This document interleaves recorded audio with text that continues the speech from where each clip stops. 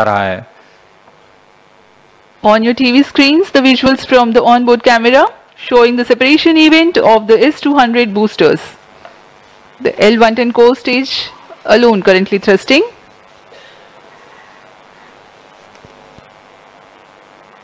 S two hundred boosters को jettisoning motor का प्रयोग कर बड़ी सावधानी से यान से अलग कर दिया जाता है। एल वन टेन जो कि तरल नोदक पर आधारित चरण है वर्तमान में प्रज्वलित है Payload fairing separated. Troop guidance initiated.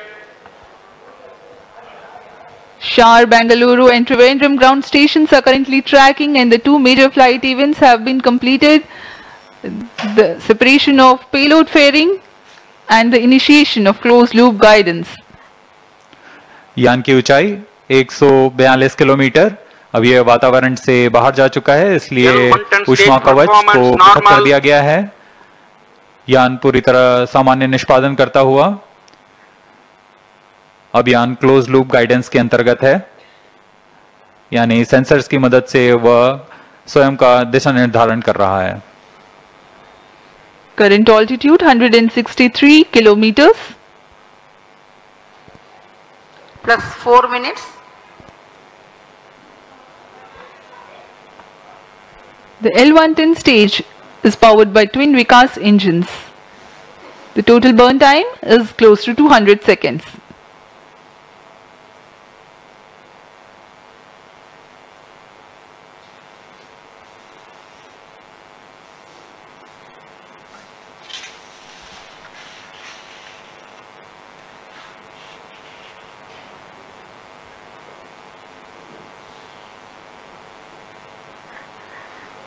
यान पूर्णतः अपेक्षित पद को अनुकरण करता हुआ जा रहा है।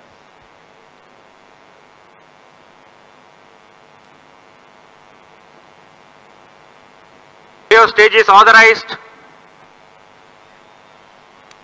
कुछ ही सेकंड्स में हम देखेंगे।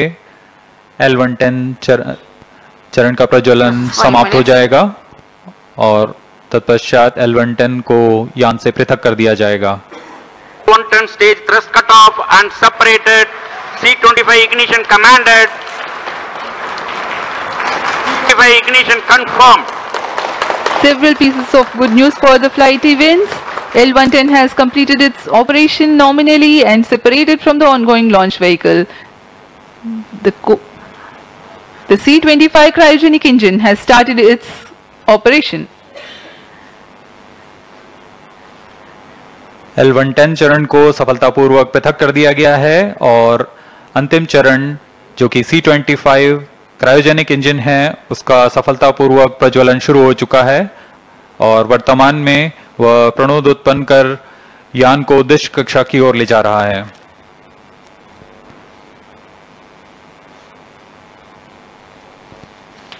plus 6 minutes. बुक्स प्रज्वलन काल करीब 640 सेकंड का होगा। तत्पश्चात कक्षा की स्थितियाँ प्राप्त कर ली जाएँगी और अंतक्षेपण किया जाएगा। 28.55 tons of propellant loading of liquid hydrogen and liquid oxygen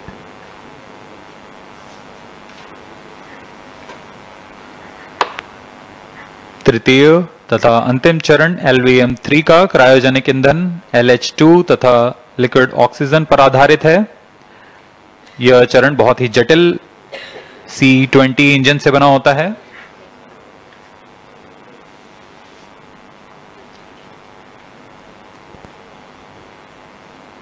इसमें लगभग 25 टन का क्रायोजेनिक ईंधन होता है। इस चरण का प्रज्वलन L110 चरण के बंद होने के तुरंत बाद किया गया है।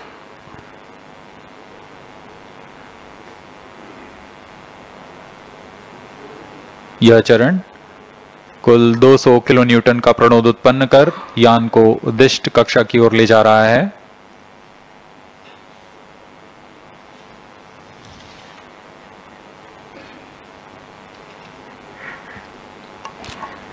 The advantage of having cryo stage as upper stage is the high specific impulse of the propellant Cryo combination. stage performance normal. Having high specific impulse roughly means a lesser quantity of fuel being able to impart higher delta V or the velocity addition to the ongoing stage.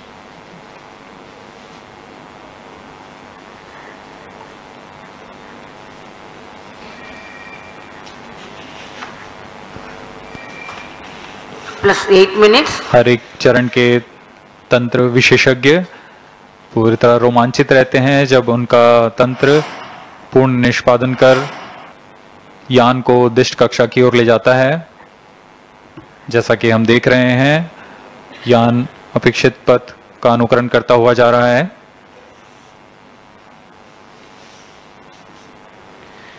Shah, Trivandrum and Bengaluru sta- ground stations tracking in the meantime.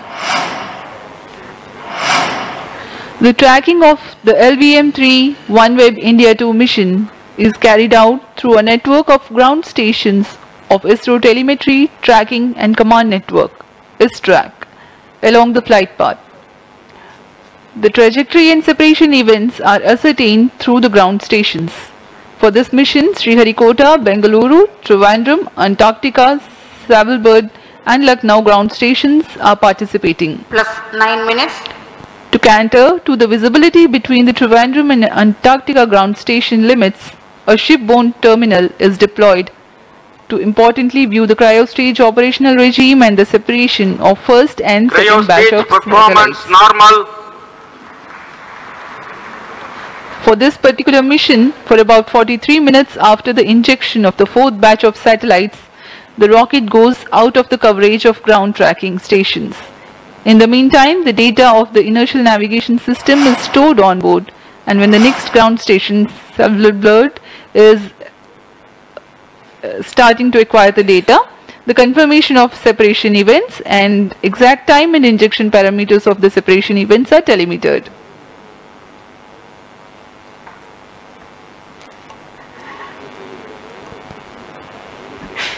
OneWeb समूह का यह new space India limited के साथ वाणिज्यिक समझौते के अंतर्गत यह दूसरा प्रमोचन मिशन है इस समझौते के तहत बहत्तर उपग्रहों को निम्न भू कक्षा में स्थापित किया जाना है, जिसमें से 36 उपग्रह L V M three M two OneWeb India one mission के साथ उद्दिष्ट कक्षा में स्थापित किए जा चुके हैं। और आज OneWeb India two mission में अगले 36 उपग्रहों को प्रमोचित किया जा रहा है। यह वन वेब कंपनी के लिए 18वां प्रमोचन है। इससे पहले कुल पाँच उपग्रह अन्य प्रमोचन यान से पहले ही भेजे जा चुके हैं इस मिशन की सफलता के पश्चात वन वेब कंपनी प्रथम निम्न भू कक्षा वाले उपग्रहों के नक्षत्र का निर्माण पूरा हो जाएगा LVM three M three rocket ద్వారా ఒకేసారి ముప్పై ఆరు ఉపగ్రహాలను ప్రయోగించనుంది ఇస్రో ప్రయోగించింది ఇవాళ ఉదయం తొమ్మిది గంటలకు శ్రీహరికోటలోని సతీష్ ధవన్ స్పేస్ సెంటర్ ఈ ప్రయోగానికి వేదిక అయింది మరో రికార్డును సృష్టించడానికి సన్నద్ధమైంది ఇస్రో. కమర్షియల్ బాట పట్టిన తర్వాత అంతర్జాతీయ స్థాయిలో వివిధ దేశాలు కార్పొరేట్ కంపెనీలకు చెందిన ఉపగ్రహాలను అంతరిక్షంలోకి విజయవంతంగా ప్రయోగిస్తోంది. తాజాగా LVM three M three rocket ద్వారా ఒకేసారి ముప్పై ఆరు ఉపగ్రహాలను అంతరిక్షంలోకి ప్రయోగించడానికి ఏర్పాట్లను పూర్తి చేసుకుంది. ఈ నేపథ్యంలో ప్రయోగించింది. ఈ ప్రయోగానికి సంబంధించిన కౌంట్ డౌన్ శనివారం ఉదయం నుంచి కొనసాగుతోంది.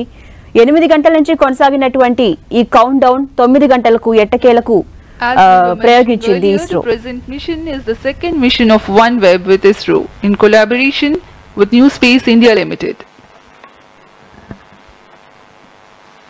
The previous mission with LVM-3 M2 was the 14th mission for one. ఇక బ్రాడ్బ్యాండ్ సేవలను మరింత మెరుగుపరచడానికి జెన్ వన్ కన్సల్టేషన్ నెట్వర్క్ శాటిలైట్స్ను ప్రయోగించడానికి ఇస్రో సహకారాన్ని తీసుకున్నది వన్ వెబ్ ఇంటర్నెట్ బ్రిటన్కు చెందిన నెట్వర్క్ యాక్సెస్ అసోసియేట్స్ లిమిటెడ్ గ్రూప్లో వన్ వెబ్ ఒకటి. మొత్తంగా డెబ్బై రెండు శాటిలైట్స్ను లో ఎర్త్ ఆర్బిట్లో ప్రవేశపెట్టడానికి ఇస్రోతో ఒప్పందాన్ని కుదుర్చుకుంది.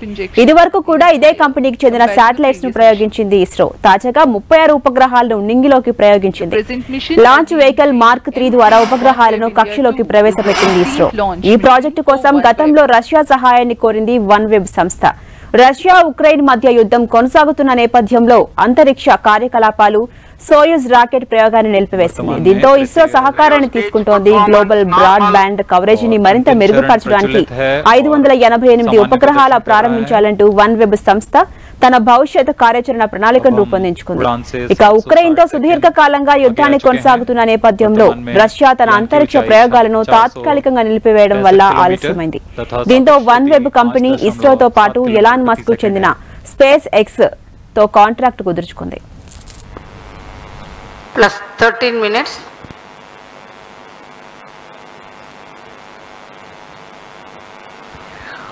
OneWeb is a global communications network powered from space, enabling connectivity for governments, businesses, and communities.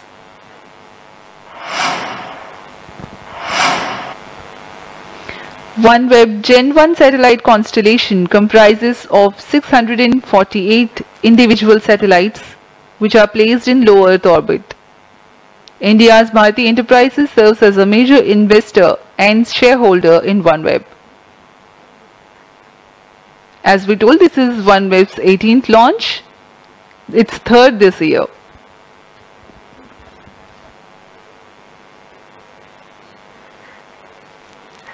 यान पूरी तरह अपेक्षित पथ का अनुकरण करता हुआ और यह दर्शाता है कि इसरो किस गुणवत्ता से किस विश्वसनीयता से 14 minutes. यह तंत्र का विकास कर इनका निर्माण किया जाता है और इनका निष्पादन पूरी तरह अपेक्षित। क्रियो स्टेज परफॉर्मेंस नॉर्मल तृतीय चरण सामान्य निष्पादन करता हुआ अपनी उद्दिष्ट कक्षा की ओर जा रहा है। For the present mission, the total burn time of C-25 is 632 seconds.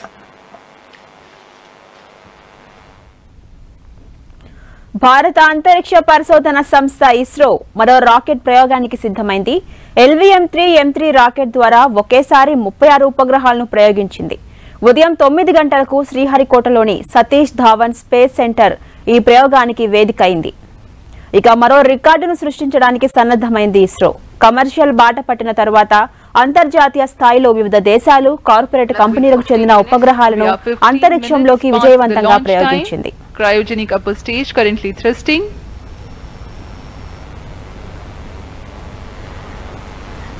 ఇక తాజాగా LVM three M three rocket ద్వారా ఒకేసారి ముప్పై ఆరు ఉపగ్రహాలను అంతరిక్షంలోకి ప్రయోగించడానికి ఏర్పాట్లను పూర్తి చేసింది ఈ మేరకు అంతరిక్షంలోకి పంపించింది ఇస్రో सी ट्वेंटी फाइव सामान्य निष्पादन करता हुआ आगे बढ़ रहा है यह इंजन इत, इतना जटिल है और भारत इसमें पूर्ण स्वायत्ता प्राप्त कर चुका है अभी अभी पुष्टि हुई सी ट्वेंटी फाइव इंजन को शट ऑफ़ कर दिया गया है बंद कर कर दिया गया है The C-25 stage thrust has been cut off and now we are awaiting the correct injection parameters for the separation of the first and second batch of satellites. 16 minutes.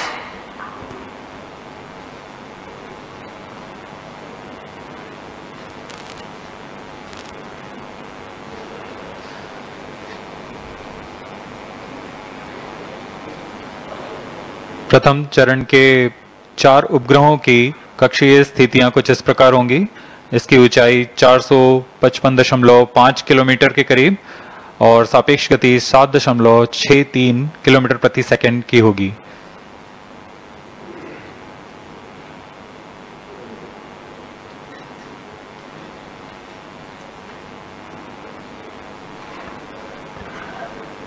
Today's launch will bring the total number of satellites in the constellation to 618. A major milestone will be achieved with the number of satellites now in orbit, enabling the global service. OneWeb will become the first LEO operator to reach this minutes. milestone of being ready to roll out its global coverage.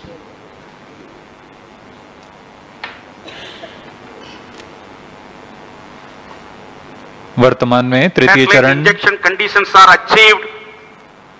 अपनी उचित अभिवृत्ति प्राप्त करता हुआ और कक्षीय स्थितियाँ प्राप्त कर, कर रहा है। कुछ ही क्षणों में हम देखेंगे प्रथम समूह के चार उपग्रहों का प्रमोचन। Cryo stage orienting its for the separation event of the first batch of satellites namely 1K, 3K, 5K and 7K. 30 seconds from then, the second batch of satellites, namely 2A, 4A, 6A and 8A will be separated.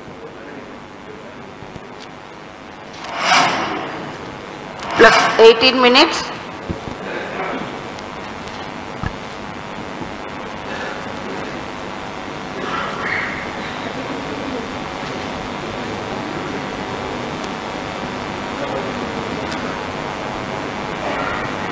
न सिर्फ़ इसरो के बल्कि one web company के